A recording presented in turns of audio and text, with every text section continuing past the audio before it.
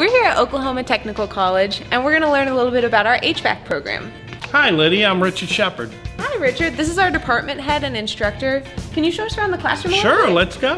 All right. So this is the classroom? This is the classroom.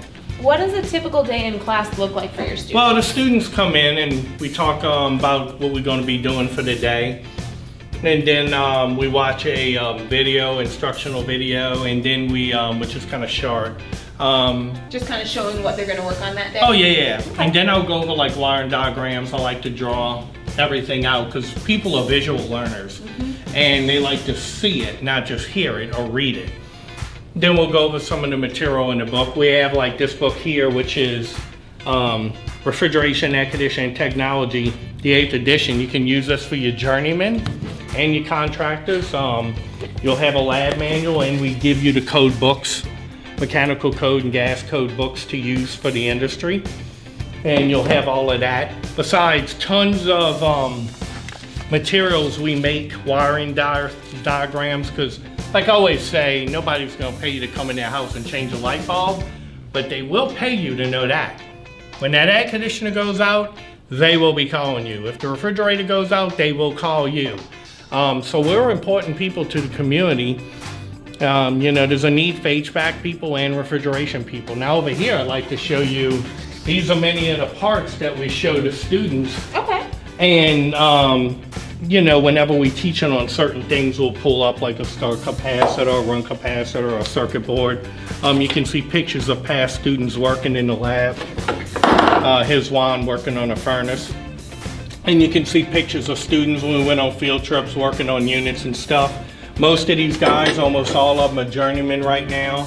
And um, some of them are mechanical contractors, have their own licenses now. And when you come here, we'll employ you to become a apprentice and get the apprentice card. And we will teach you um, EPA certification so you become EPA certified. And then we'll get you on the road to getting your journeyman and your mechanical contractor's license. So can we see where they do some more of the hands-on Yeah, stuff? let's go to lab and find out where we do that. Right. So when we come in here and walk through here real quick, I want to stop for a second and tell you that up these stairs we have a fully equipped library and resource center for the students in here during break time. They can learn to take a break and relax. And over here, they have vending machines and places to eat their lunch or their breakfast. And let's keep on going towards the lab. So Richard, what is it about your program that makes it special? Well, what makes it special is a lot. What doesn't make it special is the shorter story, which isn't anything. We try to be perfectionists at everything we do um, for the students from getting really nice equipment like commercial size equipment like this all the way down to domestic refrigerators for them to work on. Um, if you come in the lab, you can see that we have many different types of gas furnaces right here. From the oldest models with the standing pilot going up and up and up until your newest models. So they can really work on anything through, they're, they're prepared to see anything. Oh yeah, and you can look at this equipment. We don't say hands off, don't mess it up. We say get in there and get it. We want you to learn. I'd rather you get over the awkwardness of uh, any fears you may have about this industry and here. So when you go out in the field, you feel comfortable that and confident you can do what you need to do to get your career going. Over here we have condensing unit and um, water source heat pump. Over here we have commercial size package units, heat pump units.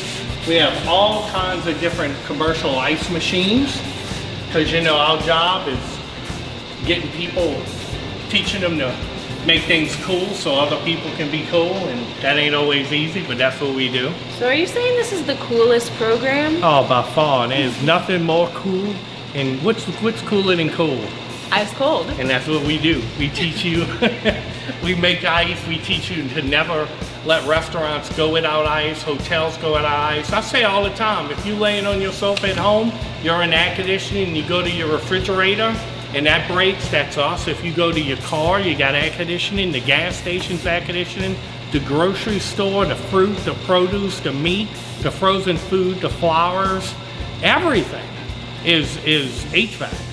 So- From the air, the ductwork, how I clean the areas, it's all of us. So where do students end up working after they're done with this program? Well, they can go to work in a lot of different places, everything from grocery stores to places like um, government buildings to school boards. I have a friend who's a maintenance guy at FBI. Um, Oh, oh, you can go to work in many different industries. You can go to work for residential, commercial refrigeration, domestic refrigeration, small appliance window units, uh, commercial, light commercial, industrial, air distribution, filtration and maintenance. You could go to work with um, distributors like Lennox Carrier and work at the places that sell parts. I mean, it's pretty limitless. So how often do your classes start? They start every week. Every week. Every week So they, they start. And you can jump in right where we are, and we start you off slow, and you just keep on going. Days like nine months, nights like 11 months. Day is from 7 a.m. to 12, and night classes from 5:30 to 10:30. And we take you slow. Like this is a light bulb, and this is how you hook up a light bulb, and this is what a circuit is. And we just keep bringing you up in electrical until you're pretty um, confident that you can do it.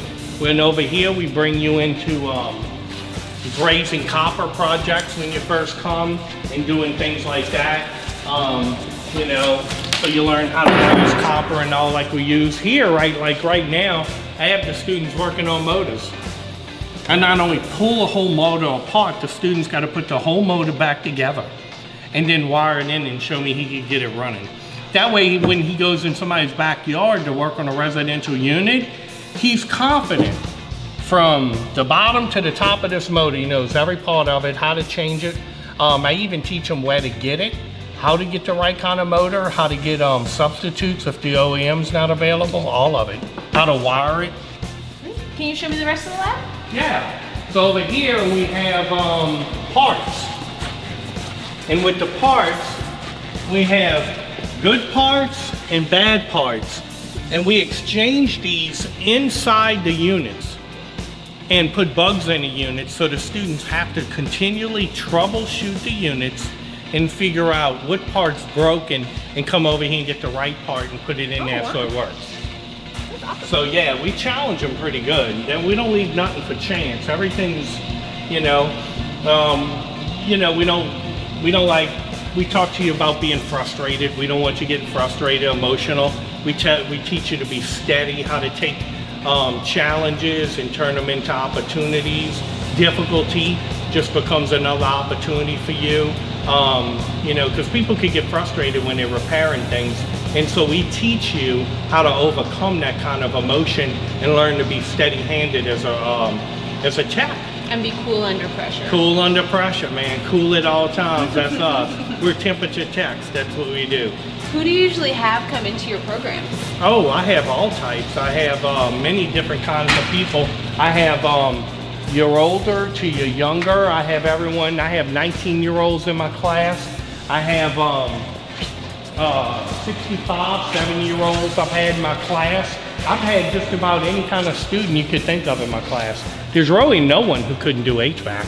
That's awesome. The industry's so broad and there's so many different things you could do that anybody could do HVAC, really anyone. And we want to make sure that you're successful. We're a nonprofit school. We make sure that you're set up with everything that you need to be successful. They get a laptop, they get a toolkit. They get a toolkit, a tool bag full of tools, including gauges, hand tools, electro- electrical meter. Um, they get all these things, and then when they leave, they get a grad kit. Now, the grad kit consists of a torch, electronic leak detector, uh, micron gauge, a laser temperature, a deal, all kinds of things, a dual gas manometer. You get all those tools to take out in the industry when you leave. Wow.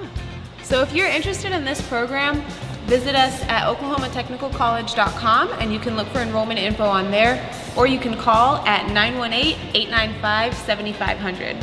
Thank you so much for showing us You're around, welcome, Richard. Lydia. I appreciate the opportunity to show it to you. Thank you.